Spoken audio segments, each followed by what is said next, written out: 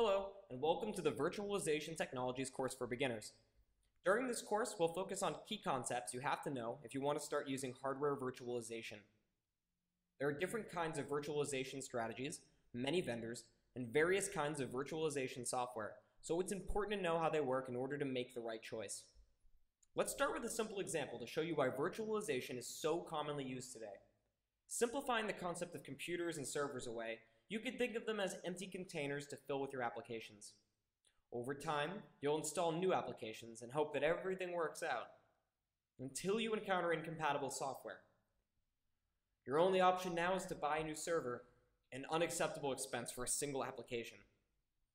Nowadays, virtualization technologies are available to help you. Using virtualization, your server becomes a container that you can fill with different environments, running all of them together. At this stage, maybe you already understand what hardware virtualization means. Hardware virtualization is the technology that enables you to create virtual machines that behave like real computers. A virtual machine, or VM, is the common term used to indicate a software implementation of a machine. How new is the virtualization concept? Not very new at all.